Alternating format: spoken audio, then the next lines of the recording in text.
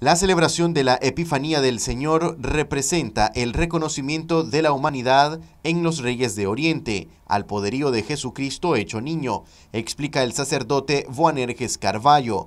Epifanía es una palabra que viene del griego que significa manifestación.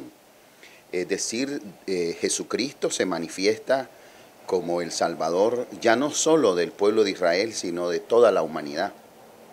Y esto es lo que representan los magos de Oriente, dice el Evangelio. La tradición cristiana le ha llamado reyes magos. Eh, y eh, representa que Jesucristo ha venido para ser salvador de toda la humanidad, se manifiesta como redentor del mundo.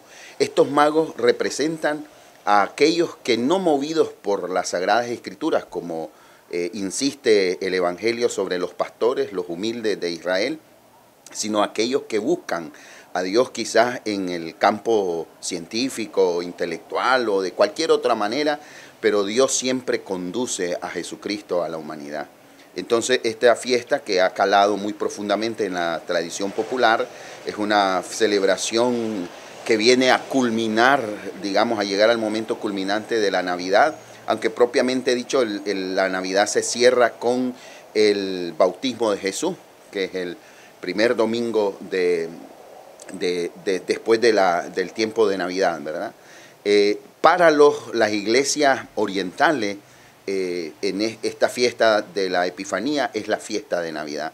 Por eso es que Epifanía eh, sigue teniendo ese sabor navideño. El religioso además detalla que esto revela el misterio del servicio, entrega y ejemplo de Jesús para el cristianismo. Y es interesante una frase que decía el Papa Francisco, que los reyes magos eh, no solo buscaron a Dios como se lo imaginaban, sino que supieron reconocerlo y lo adoraron como es.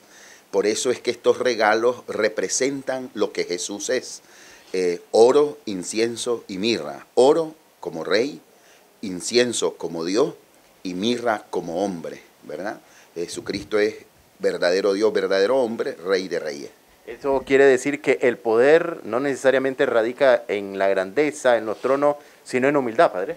Es correcto. Y desde el punto de vista de la fe y desde el punto de vista cristiano, la autoridad y el poder eh, sobre todo es servicio. Eso lo va a decir Jesús. ¿verdad? Yo estoy en medio de ustedes como el que sirve. El que quiera ser el primero, que sea el último y el servidor de todo. De esto tenemos que revestirnos todos tanto los líderes sociales, políticos y religiosos, para poder servir al ser humano, a toda persona. Marcos Medina, Noticias 12.